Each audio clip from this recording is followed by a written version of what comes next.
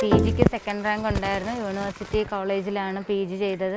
ഞങ്ങളുടെ ഏക വരുമാന മാർഗം ഈ കട തന്നെയാണ്. അപ്പോൾ അച്ഛൻ മരിച്ച് നാല് മാസമായി. അപ്പം വേറൊരു മാർഗം ഇല്ലാത്തത് കൊണ്ട് അമ്മയുടെ വന്ന് കടയിൽ നിൽക്കുകയാണ് ചെയ്യുന്നത്. പത്ത് നാൽപ്പത് വർഷം കൊണ്ട് അച്ഛൻ നടത്തി വരുന്ന കടയാണ്.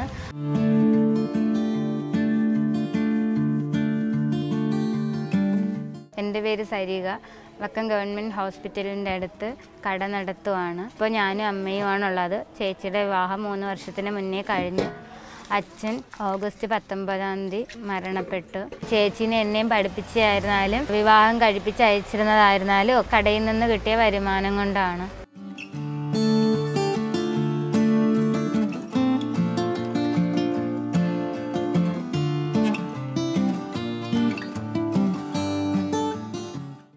രാവിലെ ആറ് മണിക്കാണ് കടയിലെത്തുന്നത്. പിന്നെ കടയൊക്കെ ഒന്ന് തുറന്ന് വരുമ്പോഴത്തേക്ക് ഒരു ആറാറര മണിയാവും. അപ്പോഴാണ് കച്ചവടം തുടങ്ങുന്നത്. ഉച്ചയ്ക്കൊരു ഒന്ന ഒന്നര മണി വരെയൊക്കെ കാണും പിന്നെ മൂന്ന് മണിയാകുമ്പോഴാണ് ഉച്ചയ്ക്കുള്ള ഫുഡ് കഴിച്ചിട്ട് വന്ന് വൈകുന്നേരം ഒരു ആറാറര മണി വരെ കാണും.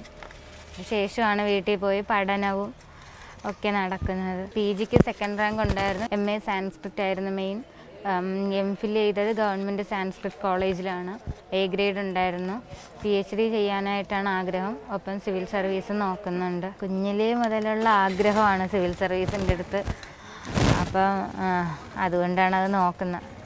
മുന്നേ നോക്കിക്കൊണ്ടിരിക്കുമായിരുന്നു പക്ഷെ അതൊക്കെ പകുതി വെച്ച് നിന്ന് ഇപ്പം പിന്നും ആരംഭിച്ചിരിക്കുകയാണ്. അച്ഛനുള്ളപ്പോൾ പിന്നെ വലുതായിട്ട് അച്ഛൻ നിർത്തൂല. ഇപ്പം ഈ നാല് മാസം കൊണ്ടാണ് ഞാനും അമ്മയും.